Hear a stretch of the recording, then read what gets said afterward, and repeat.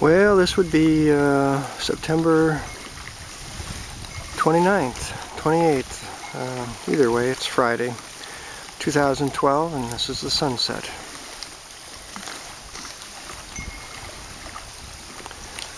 For all of you who might be missing Torch Lake, or feeling a little sad.